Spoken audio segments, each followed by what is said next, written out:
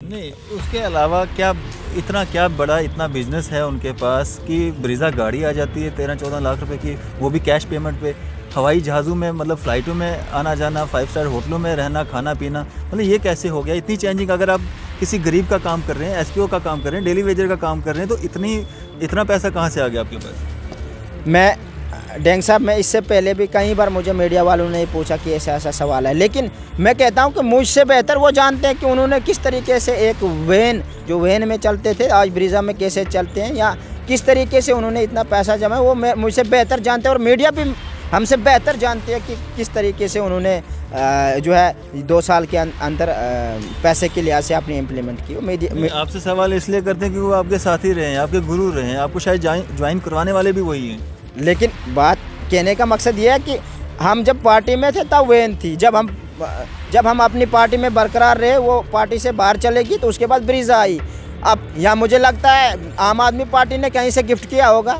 या आम आदमी पार्टी पैसा देती है ज्वाइन कराने के लिए बात हो सकती है। हमने तो किसी पार्टी का नाम ही नहीं लिया। आप ही पार्टी का नाम ले रहे नहीं मैं मैं कहता हूँ ना आप मेरे जब पैंथर पार्टी में थे तब वेन थी। अब आम आदमी पार्टी में गए तो ब्रिजा आई। अब इसका सच और झूठ का इंतखब या आम आदमी पार्टी करे या मुझे लगता है लोगों के साथ जो है कोई जाति की होगी की गई होगी ये आने वाले वक्त में सारा कुछ सामने आएगा। हमारे साथ खास बातचीत में मौजूद हैं Jammu Kashmir national panther party युवा नेता इफ्तियाज सोहेल साहब डिस्ट्रिक्ट रामबन से बिलोंग करते हैं डिस्ट्रिक्ट रामबन के प्रेसिडेंट हैं ये युवा नेता हैं। क्या कारण थे आज आप जम्मू आए हैं? सबसे पहले हम न्यूज़ सर इंडिया का ते दिल से शुक्रिया अदा करते हैं क्योंकि आपने हमेशा दबे कुचले लोगों की आवाज़ को बुलंद किया है। आपका प्रश्न जो है, उसका मैं जवाब ये देना चाहूँगा कि आज पैंथरस पार्टी की जो है आ, मीटिंग थी आ, वर्किंग कमेटी की मीटिंग थी जिसमें सब लोगों को इनवाइट किया गया था चाहे डिस्ट्रिक्ट प्रेसिडेंट हो स्टेट सेक्रेटरी हो जनरल सेक्रेटरी हो या वाइस प्रेसिडेंट सभी लोगों को जो है इस मीटिंग में आने की दावत दी गई थी। तो उसमें जो है कुछ चर्चा की गई पार्टी के जो है मुताब पार्टी के लिए जो चर्चा की गई कि आगे किस तरीके से पार्टी को जो है आगे लेके चलना है तो उसी बारे में आज हम मीटिंग के लिए जम्मू आए थे आज। फैज भाई अगर बात करें हम डिस्ट्रिक्ट रामबन की, जिस तरह से डिलिमिटेशन कमीशन की जो रिपोर्ट आई है, उसमें अगर हम बात करेंगे डिस्ट्रिक्ट रामबन की, वहाँ पे भी काफ़ी जो है हलचल देखने को मिल रही है, काफ़ी सारी कॉन्स्टिट्यूंसीज जो है इधर की उधर हो गई हैं तो क्या बदलाव जो है वो देखने को मिल रहे हैं और आम लोगों पर इसका क्या असर होगा? सबसे पहले हमें अफसोस इस बात का है कि डिलिमिटेशन कमीशन करने का मकसद ये था कि जिस ज़िले के अंदर पॉपुलेशन के लिहाज से या मुरबा यानी कि हिस्से के तनासब के मत जो है मद्दनज़र रख कर उसको जो है, उस इलाके को और जो है कॉन्स्टिट्यूंसी देने का मतलब था। लेकिन अफसोस इस बात का है कि ज़िला रामन के के अंदर पहले तीन कॉन्स्टिट्यूंसी थी असम्बली सेगमेंट थी, जिसमें रामबन, गूल और बनिहाल। आज मुझे अफसोस के साथ ये कहना पड़ रहा है कि कॉन्स्टिट्यूंसी बानहाल के दो फाड़े की गए जिसमें पोगल, प्रस्तान पटवाड़ हलके के अंदर पाँचल वगैरह इलाके को रामबन के साथ जोड़ा गया और कुछ इलाकों को जो है बनिहाल के साथ जोड़ा गया। मुझे, मैं आपको ये भी जानकारी देना चाहूँगा कि गूल इलाका जहाँ पर एमएलए हुआ करता था, आज उस गूल इलाके का, को जो है जोग्राफियाई तौर पर, मुकम्मल तौर पर ख़त्म कर दिया गया। गूल जो असम्बली हलका था, उसको कुछ इलाकों को बनिहाल के साथ जोड़ा गया, कुछ रामबन के साथ और कुछ जो है रियासी के साथ जोड़ा गया। ये वहाँ के लोगों के लिए और ज़िला रामबन की आवाम के लिए एक अफसोसकुन बात है और उन लोगों के साथ एक बहुत बड़ी ज़्यादती की। मैं आपको कहना चाहूँगा, जिस तरीके से पहले भी हमारे आ, कहीं अपोजिशन पार्टी के लीडर ने कहा कि ये बीजेपी का डिलिमिटेशन है। लोगों के हित के लिए डिलिमिटेशन नहीं किया गया। बीज बीजेपी चाहती है कि जिस इलाके से हमारे कैंडिडेट हमारे एमएलए कामयाब होंगे हमारे एमपीज़ कामयाब होंगे तो वो उन्होंने उसी तरीके से इस डिलिमिटेशन कमीशन को सरेआम पर लाया। और जितने भी मैं हदफ तनफीद करना चाहूँगा एसोसिएट मेंबर जितने भी थे पाँच एसो जो है पाँच एसोसिएट मेंबर थे जिनमें भारतीय जनता पार्टी के दो और तीन नेशनल कॉन्फ्रेंस के थे। लेकिन अफसोस इस बात का कि नेशनल कॉन्फ्रेंस के जो एसोसिएट मेंबर थे, वो रूठते रहे, वो नाराज़ होते रहे। आखिरी शक्ल जब डिलिमिटेशन कमीशन की जो है आखिरी दिन था जिस दिन उसको मंजर आम पर लाने की जो है आखिरी मीटिंग थी तो हमारे एसोसिएट मेंबर उस दिन आए। मुझे अफसोस इस बात का कि कश्मीर की जोग्राफियाई तौर पर और हमारे खताई चिनाब को जो है जोग्राफियाई तौर पर उसको मुकम्मल तौर पर तबाह कर दिया गया। इस भारतीय जनता पार्टी के द्वारा ये अफसोसनाक है और ज़िला रामबन की आवाम के लिए बहुत ही बड़ा जो है एक यूम स्या दिन था जिस दिन इस डिलिमिटेशन कमीशन की आखिरी रिपोर्ट जो है पब्लिक डोमेन में डाली गई। तेज भाई अगर हम बात करेंगे बानिहाल सीट की बानिहाल असम्बली सीट जो है उस पर इसका क्या असर होगा? देखिए मैं हम कहना चाहेंगे कि एक कुछ इलाके ऐसे भी हैं उनका बलाक बनिहा बलाक रामसू है अब उनकी जो है तहसील उखड़ाल है और अब असम्बली सेगमेंट जो है रामबन बन चुकी है।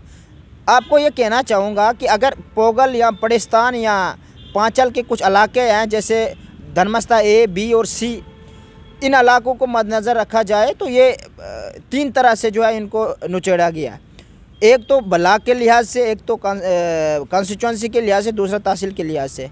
ये बहुत ही बड़ा जो है इलाके के अंदर एक मुझे कुछ लोग कह रहे थे कि आने वाले वक्त में जब इलेक्शन होगा, हम बाइकाट करेंगे। इसका भविष्य बहिष्कार करेंगे, मुकम्मल तौर पर इससे बाइकाट करेंगे, क्योंकि हम लोगों को ये हर वक्त कभी टेरिटोरियल कॉन्स्टिट्यूंसी जब डीडीसी की बनती है, तब हमें तकसीम करते हैं। आज फिर से तकसीम किया, जो लोगों की यही मुतालबात है कि पोगल, प्रस्तान, रामसू, खड़ी, नील, छगन, सुमड़, हड़ोग वगैरह जितने इलाके भी हैं, बानियाल कॉन्स्टिट्यूंसी के साथ रखा जाना चाहिए।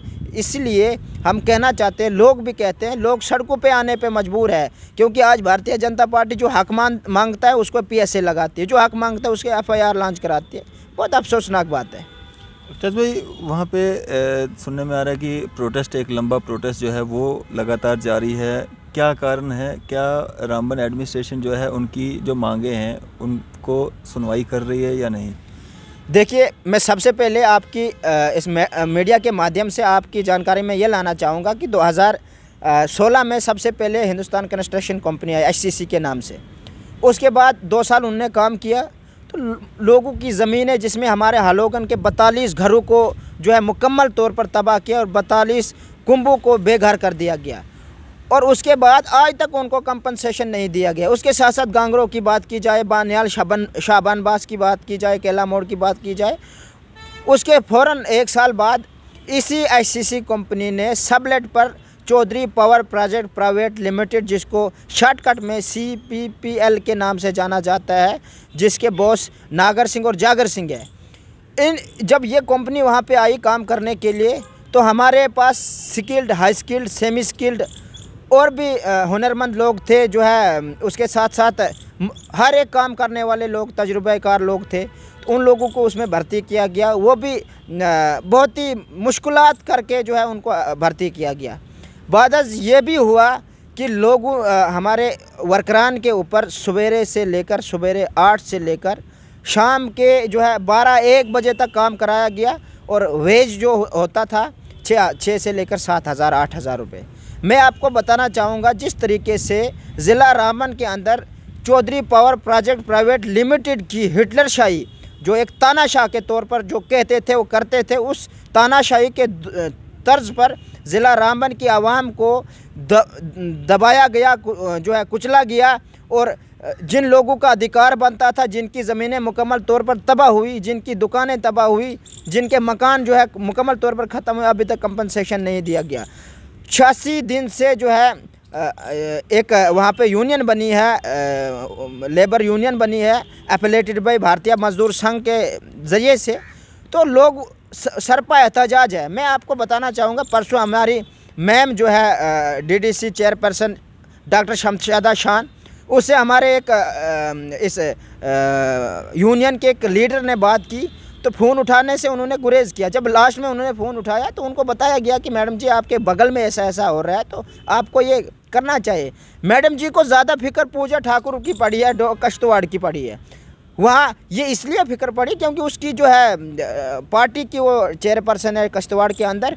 मैं मुबारकबाद पर पेश करता हूँ कश्तवाड़ की चेयरपर्सन साहिबा को। उन, उन्होंने जो है लोगों की बात करने के लिए सर पर एहतजाज धरने पे बैठी है। लेकिन शमशदा शान साहिबा रामन के अंदर उन्होंने ये कहा मेरे उस लीडर को कहा कि मुझे मालूम नहीं क्या हो रहा है। तो मैडम के लिए एक अफसोसनाक बात है बेशर्मी की बात यह है कि छियासी दिन से आपके बगल में आपके ऑफ़िस के साथ दो किलोमीटर दूर पर लोग सर पर एहतजाज है, न भूख को देखते हैं, न प्यास को देखते हैं, न धूप को देखते हैं, न सर्दी, न गर्मी। लेकिन मैडम साहिबा को कोई मालूम नहीं है।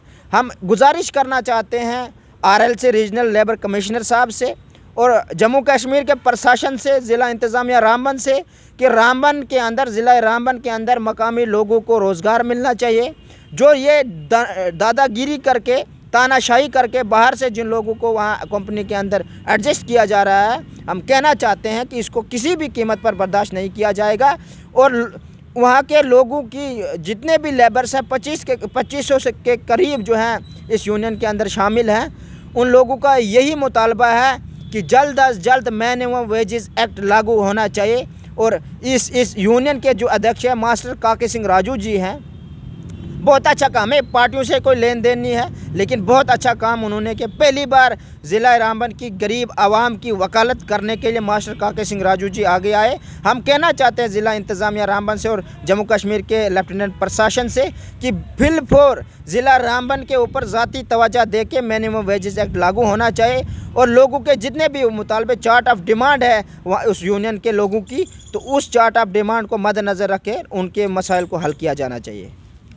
वेजेस के नाम पे क्या स्किल के हिसाब से उनको वेजेस मिल रही है या जिस तरह से आपने कहा कि गुंडागर्दी, दादागिरी, उस हिसाब से उनको पैसे मिल रहे हैं? देखिए, मैं आपको बताना चाहूँगा, एक एक एक रूल बनता है कॉन्स्टिट्यूशन के हिसाब से लेबर लाज जो हैं, वो लेबर लाज ये कहता है कि आप स्किल्ड अलग उसका वेज बनता है अनस्किल्ड अलग होता है सेम स्किल्ड अलग अलग होता है और उसके साथ साथ जितने भी हुनरमंद जिससे ऊपर स्टेप बाय स्टेप जो जो आप काम जानता है, वो उस तरीके से उसको तनख्वाह मिलनी चाहिए। लेकिन जो अनस्किल्ड है अनस्किल्ड का भी इस वक्त रूल के मुताबिक साढ़े पाँच सौ रुपये दिन का बनता है। उसी के हिसाब से ये सतारह हज़ार के करीब जो है महाना बनता है, जो एक मज़दूर है। लेकिन मज़दूर को वहाँ पे सात हज़ार दिया जाता है। उसके साथ में स्किल्ड आ गया, फिर हाई स्किल्ड आया, फिर सेमी स्किल्ड आया, उस तरीके से जो मिनिमम वेजेस एक्ट है, उसके तहत उन लोगों का अधिकार मिलना चाहिए। मैं समझता हूँ कि ज़िला रामन के अंदर मिनिमम वेजेस एक्ट की जो है मुखालफत की जा रही है और उसके उसके खिलाफ विरुद्ध काम किया जा रहा है। हम कहना चाहते हैं कि हिटलर शाही जो नागर सिंह और जागर सिंह की हिटलर शाही जो रामबन ज़िला के अंदर है, हम कहना चाहते हैं कि फिल फोर इनके ऊपर कानूनी कार्रवाई अमल में लानी जानी चाहिए। नहीं तो आने वाले वक्त में हम हज़ारों लोगों के समेत नेशनल हाईवे को ब्लॉक करेंगे। उसके बाद जो है प्रशासन जिम्मेवार रहेगा, इंतज़ामिया जिम्मेवार रहेगा। कोई भी अगर प्रॉब्लम आती है तो इंतज़ामिया को उसका जवाब देना होगा। अफजाज भाई एक समय में आपके गुरु रहे आपकी पार्टी के सरगर्ता रहे, उन पे जम्मू कश्मीर के S P Os daily wagers का काफ़ी भरोसा भी रहा कुछ समय तक। अब वो भरोसा जो डगमगा रहा है। उनके लाइफस्टाइल में जब वो आपके साथ थे तब की क्या स्थिति थी और आज की क्या स्थिति है? वो एक वैन से लेके ब्रिज़ा तक की कहानी जो है, वो सफ़र जो है, वो बताएँ हमें क्या बदलाव आप देख रहे हैं? देखियो देखिए सबसे पहले मैं आपको बताना चाहूँगा, अगर ईमानदारी की लीडरी की जाए तो मैं समझता हूँ वैन से ब्रीज़ा नहीं पहुँच सकता है। क्लियर कट में बात कहना चाहूँगा। दूसरी बात यह है कि तब हम भी पार्टी के में थे, वो भी पार्टी में थे। हम मुकम्मल तौर पर चलते चलते थे, सफ़ाई के तौर पर चलते थे। अगर तब हमारे होते हुए अगर हमारा लीडर गलत करता तो वक्ती तौर हम कभी नहीं कहते कि वो गलत कर रहा है, क्योंकि वो लीडर था। उसके बाद उन्होंने अब क्या किया, क्या नहीं किया, वो लोगों के सामने वो वो सभी लोग जानते हैं, ज़िला रामबन के लोग जानते हैं सुबह जम्मू के, सुबह कश्मीर के लोग जानते हैं कि क्या हुआ, क्या नहीं हुआ। धोखा, दही करके लोगों से पैसा लिया जा रहा है। क्या किया जा रहा है? मैं आने वाले वक्त में आपको सब मुझे रोज़ाना दो तीन फ़ोन आते हैं अपने इलाके से कि हमारा इतना पैसा, हमारा इतना पैसा। मैं कहता हूँ, आपका पैसा है आपने तो हमारे, हमसे पूछ कर पैसा नहीं दिया है। आपने अपने तरीके से पैसा दिया, आप अपने तरीके से उनसे वसूल करना कर सकते हैं। लेकिन सवाल इसमें यह पैदा होता है कि अगर लीडरी जो है, लीडर, लीड होता है, लीड करने वाला। गरीबों की, मुस्किनों की, दलितों की, पिछड़ों की, जितने भी वर्ग के लोग हैं, उनकी लीड करना। अमीर की लीड कभी नहीं की जा सकती। अमीर हर वक्त जब लीड की, करने की जो है जब एक वकील होता है, लीडर वकील होता है तो गरीबों की, मैं समझ सकता हूँ कि कहीं भी ऐसे आर्डर आज तक इशू हुए हैं कि आज एस पी को ये हुआ। हालाँकि डीजी साहब ने क्लियर कट कहा कि ये जो मसला जो है, अभी कुछ जो है परमानेंट होने का कोई भी अंदेशा नहीं है। ये सवाल जो है मन घड़त सवाल है, वो डीजी साहब ने कई बार कहा। लेकिन फिर भी मुझे ये समझ नहीं आती कि सुप्रीम कोर्ट या हाई कोर्ट, मुझे बताया कि सुप्रीम कोर्ट के अंदर जम्मू कश्मीर की तीन जो है याचिकाएँ जो है दर्ज की है, तीन दरखास्तें दर्ज की की है कि जम्मू कश्मीर को राज्य का दर्जा बहाल करो। अभी तक उसकी जो है सुनवाई नहीं हुई। इसी तरीके से अगर वो, कहते हैं कि सुप्रीम कोर्ट में ऐसा हुआ या हाई कोर्ट में ऐसा हुआ वो मैं लोगों को जो है होशियार होना पड़ेगा उसकी इंक्वायरी देखनी पड़ेगी उस लेटर को देखना पड़ेगा कि ये सच है या झूठ है। इसके बाद कोई भी आदमी अगर उसके साथ लेन देन करता है या कर चुका है हमारा कोई लेन देना नहीं है ना ना हम उनसे मिलते ना हमसे मिले ना हमारी पार्टी के साथ। यहाँ यहाँ पे आप गलत हो क्योंकि आप एक लीडर हो आपका काम है अगर कोई गलत रास्ते पे चला गया है और उसके बाद वो आपसे मदद की गुहार लगाता है बींग लीडर आपका फ़र्ज़ बनता है उसकी मदद करना उसका अगर पैसा किसी ने खाया है वो पैसा दिलवाना आप लीडर हैं। आप ऐसी बात कहते हुए अच्छा नहीं लगता है कि आपका कोई गुरु रहा हुआ है तो आप उसको आ, मतलब बचाने के लिए जो है किसी को ये कहेंगे कि आपने हमसे पूछ के नहीं दिया नहीं बिल्कुल हम किसी को जो मैं कहता हूँ जो जहर खाता है वही मरता है। जिसने क्राइम किया होगा उसको जेल की सलाखों के पीछे डालना चाहिए। ये क्लियर बात है। लेकिन मेरे कहने का मकसद ये है कि आप लोगों ने जब पैसा दिया था हम तो आपकी वकालत करेंगे। अगर आ, आप अगर सच्चे होंगे आपको लोगों के सामने आना होगा मीडिया के सामने आना होगा आ, लोगों के बीच में आ, ये पुकार के कहना होगा कि हमने पैसा दिया है। अगर आप झूठे हमको इस्तेमाल करवाओगे उसके लिए हम नहीं राज़ी है। हम कहना चाहते हैं कि अगर आपके साथ गलत होगा हम आपके साथ उस नहीं उसके अलावा क्या इतना क्या बड़ा इतना बिज़नेस है उनके पास कि ब्रिज़ा गाड़ी आ जाती है तेरह चौदह लाख रुपए की, वो भी कैश पेमेंट पे। हवाई जहाज़ों में मतलब फ़्लाइटों में आना जाना फाइव स्टार होटलों में रहना, खाना पीना मतलब ये कैसे हो गया? इतनी चेंजिंग अगर आप किसी गरीब का काम कर रहे हैं एसपीओ का काम कर रहे हैं डेली वेजर का काम कर रहे हैं तो इतनी, इतना पैसा कहाँ से आ गया आपके पास? मैं डेंग साहब मैं इससे पहले भी कई बार मुझे मीडिया वालों ने पूछा कि ऐसा ऐसा सवाल है लेकिन मैं कहता हूँ कि मुझसे बेहतर वो जानते हैं कि उन्होंने किस तरीके से एक वैन जो वैन में चलते थे आज ब्रिज़ा में कैसे चलते हैं या किस तरीके से उन्होंने इतना पैसा जमा वो मैं मुझसे बेहतर जानते हैं और मीडिया भी हमसे बेहतर जानते हैं कि किस तरीके से उन्होंने जो है दो साल के अं-, अंदर पैसे के लिहाज से आपने इम्प्लीमेंट की आपसे सवाल इसलिए करते हैं कि वो आपके साथी रहे हैं आपके गुरु रहे हैं आपको शायद ज्वाइन करवाने वाले भी वही हैं। लेकिन बात कहने का मकसद ये है कि हम जब पार्टी में थे तब वेन थी। जब हम जब हम अपनी पार्टी में बरकरार रहे वो पार्टी से बाहर चलेगी तो उसके बाद ब्रीजा आई। अब यहाँ मुझे लगता है आम आदमी पार्टी ने कहीं से गिफ्ट किया होगा या आम आदमी पार्टी पैसा देती है ज्वाइन कराने के लिए बात हो सकती है। हमने तो किसी पार्टी का नाम ही नहीं लिया आप ही पार्टी का नाम ले रहे हो। नहीं मैं मैं कहता हूँ ना अब मेरे जब पैंथर पार्टी में थे तब वेन थी। अब आम आदमी पार्टी में गए तो ब्रिजा आई। अब इसका सच और झूठ का इंतखब या आम आदमी पार्टी करे या मुझे लगता है लोगों के साथ जो है कोई ज़ाति की होगी की गई होगी ये आने वाले वक्त में सारा कुछ सामने आएगा। तो इसके साथ साथ मैं अपने थोड़ा और क्योंकि मुझे पता है कि आपको बहुत टाइम कम है तो मैं अपने इलाके की ओर ले चलूँगा आपको। इलाकों का नाम आपसे कई बार हमने जो है आपके सामने लाया कुछ हद तक जो है हमें कामयाबी आपके मीडिया के माध्यम से हुई है इसमें कोई शक नहीं। मैं मैं आपका बहुत ही शुक्रगुजार हूँ कि आपने हमारी आवाज़ को हमेशा बुलंद किया है। आपको दो तीन चार इलाकों का नाम लूँगा क्योंकि वक्त की कमी की वजह से आपको भी वक्त की कमी की वजह है और मुझे भी है तो मैं आपको बताना चाहूँगा आप हमारे इलाके ज़िला रामबन के दूर दराज इलाकों पर नज़र दौड़ाइए। सबसे पहले मैं आपको सराची, एक इलाका है खड़ी से 12 किलोमीटर दूर, एक पहाड़ पे वाक़ा 12 किलोमीटर दूर। वहाँ से आज खच्चरों पे, घोड़ों पे सामान लद के वहाँ पे पहुँचाया जाता है। और कई लोग आज तक लुकमाए अजल हुए हैं, किसी इंसिडेंट की वजह से, कहीं गिरने की वजह से, वहाँ जंगल एरिया है ज़्यादातर। और वहाँ पर आज तक रोड नहीं पहुँचाया गया। हालाँकि गवर्नमेंट प्रधानमंत्री ग्राम सड़क योजना की बहुत बड़े दावे कर दिए कि हमने ये किया हमने इतने हज़ार किलोमीटर बनाए इतने लाख किलोमीटर बनाया इतने लाख जो है करोड़ रुपया उधर दे दिया। लेकिन अभी तक उन इलाकों में सड़क नहीं सराची का सराची है उसके साथ साथ है महू के कुछ इलाके हैं दरदही है आमा है कावालिन है भिंगा भिंगारा का रोड अभी तक मुकम्मल नहीं हो पाया। भिंगारा का रोड 2014 से स्टार्ट हो हुआ है। 2000 मुझे लगता है 2014 से पहले लेकिन अभी तक मुकम्मल नहीं हो, हो पाया। उसके साथ रूनी गाँव है सुबनपोरा है सुरंगा ज़्यादातर सुरंगा का एक इलाका है। वहाँ पर अभी तक रोड नहीं पहुँचाया गया। उनको हर चीज़ से जो तिबी सहूलियात होती है हर चीज़ से जो है महरूम रखा जाता है।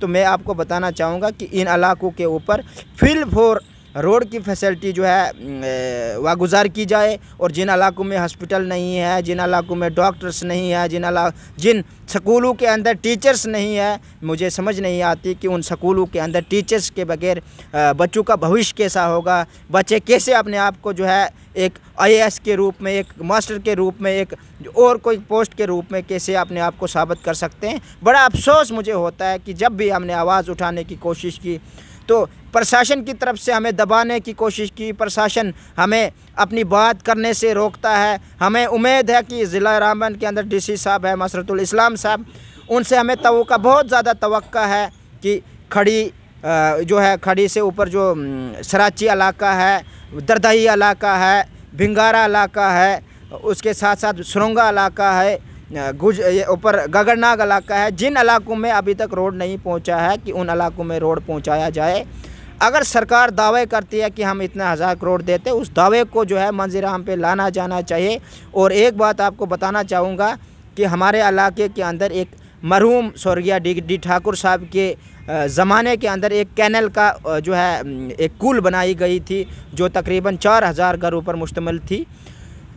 वो तकरीबन दस से लेकर पंद्रह साल चली। बहुत ही ज़्यादा पैसा उसमें जो है लगाया गया और कुछ मुलाजम अभी भी उस उसमें मुलाजमत कर रहे हैं पैसा खा रहे हैं लेकिन कुल का नाम व निशान नहीं है पानी की बूंद तक नहीं आ रही है।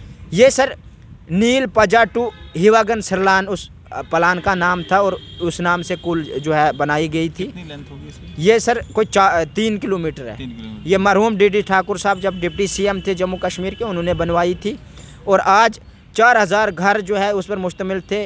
लोग जो है पानी की बूंद पीने से महरूम है। उस इलाके में एक आपको एक और इलाके का नाम लो, वार्ड नंबर सोई मत ना बी, वार्ड नंबर तकरीबन चार है। वार्ड नंबर चार अपर बाली मोहल्ला, तालाब नाम करके हैं। वहाँ कोई दस से लेकर बीस घर है। उनको जो है नीचे दरिया से पानी उठा के उधर पहुंचाना पड़ता है या एक पहाड़ से कंधों पे उठा के पानी घर तक पहुंचाना पड़ता है। आपको मालूम होगा कि हमारी माँ है, बहन है, कहीं चीज़ों से जो है वो कासिर रहती है, कहीं भी जो है एक माँ बहन होती है सबके पास माँ बहन है। उसको ज़िले वो सितम जो है करना पड़ता है उस घर में पानी पहुँचाना पड़ता है। तो हम गुजारिश करना चाहते हैं आपके मीडिया के माध्यम से कि हमारे जितने भी मुतालबात हैं जिन इलाकों में पानी नहीं उन इलाकों में पानी पहुँचाया जाए। जिन इलाकों में सड़क नहीं है सड़क पहुँचाई जाए। जिन इलाकों के अंदर जिन स्कूलों के अंदर टीचर्स पढ़ाने वाले नहीं हैं उनको फिलअप किया जाए जिन इलाकों के अंदर बिजली नहीं है पानी नहीं है और किस्म की ज़रूरी सहूलियात नहीं है उन पर जल्द अज जल्द जो है पहुँचाई जाए। और हमने पहले भी मुतालबा किया है कि महू मंगत जो है महू मंगत सुनाशेरी मानलन सर पंता थी उधर से सा, उसके साथ साथ सरगली इन इलाकों के अंदर टूरिज़म में, टूरिज़म मैप में लिया जाए। हालाँकि कुछ इलाकों को लिया गया है, लेकिन डेवलपमेंट नहीं हो रही है। हम गुजारिश करना चाहते हैं कि फिल फोर इन इलाकों को टूरिज़म मैप में लिया जाए। इस वक्त अफसोस से मुझे कहना पड़ रहा है कि ज़िला रामबन को नीति आयोग ने पैंतीस फ़ीसद एक पोरेस्ट जो है, एक गरीब ज़िला माना है। मुझे अफसोस इस चीज़ का है कि डीडीसी जितने भी बने हैं, वो अपने पैसे की मफाद के लिए, अपनी सियासी मफाद के लिए कोई भी लीडर, कोई भी डीडीसी अपने इलाके की नज़र नहीं दौड़ाना चाहता है। कोई डीडीसी जम्मू में बैठे हैं, जीते अपने टेरिटोरियल कंस्टिट्यूंसी से, चाहे रोनियाल साहब हो, चाहे और कोई हो और कोई, जितने भी डीडीसी काउंसलर हैं वाहिद इम्तियाज़ खांडे के, हालाँकि वो कांग्रेस ही है लेकिन मैं क्लियर कहूँगा कि एक जो है इम्तियाज़ अहमद खांडे साहब जो काम करते हैं, वरना सब लीडर झूठ और फ्रेब करके लोगों को इस्तेमाल करते हैं। कोई जम्मू में बैठा है, कोई कश्मीर में बैठा है, कोई रामबन में बैठा है, लोगों की बात करने के लिए लोग राज़ी नहीं हैं। हम प्रशासन से गुजारिश करना चाहते हैं कि प्रशासन को हमारे इलाके के ऊपर जो है नज़र दौड़ानी चाहिए और हम आपके मीडिया के माध्यम से बलाक रामसू की बात करना चाहते हैं। इतना बड़ा करप्शन बलाक रामसू के अंदर हुआ है। बलाक जो आरडीडी महकमा है बहुत ज़्यादा करप्शन हुई है। मुलाजम लोगों के नाम से पी एम ए वाई प्रधानमंत्री जो आवास प्लस योजना के तहत जो आ, मकान मिलते हैं एक गरीब का मकान एक अमीर को मिला है जो एम्प्लाई राशन कार्ड होल्डर है उसके नाम से दो दो जो है आ, मकान निकाले गए। गरीब का मकान काट के उसको निकाला गया है। हम गुजारिश करना चाहते हैं ये आने वाले वक्त में उसको आम पे लाया जाएगा। हालाँकि इसकी हम गुजारिश करना चाहते हैं। आप चाहें आप बता सकते हैं कार्रवाई हो सकती है क्योंकि बड़ी जगहों पे हुई भी है। आने वाले वक्त में हम सबसे पहले टारगेशन आपको बताएँगे। धनमस्ता सी की जो है सी बी इनकर इंक्वायरी की जाए। हम मैंने जो है आज एक पत्र बनाया एक मेमोरेंडम बनाया एंटी करप्शन ब्यूरो जम्मू के लिए कि धर्मस्था सी के अंदर जो है वहाँ पर सी बी इंक्वायरी की जाए और मालूम किया जाए कि अमीर गरीब का मकान अमीर को मुलाजम को कैसे दिया जा रहा है यही हमारी रिक्वेस्ट है। चलिए शुक्रिया हमारे बातचीत करने के लिए अपना कीमती समय देने के लिए। बहुत बहुत शुक्रिया धन्यवाद अस्सलाम वालेकुम। तो ये थे हमारे साथ युवा नेता Jammu Kashmir national panther party Iftiyaz Sohail साहब। इसी तरह के मजीद अपडेट्स के लिए आप देखते रहे न्यूज़ सैर इंडिया मैं डैंग कैमरा मैन शाहनवाज के साथ।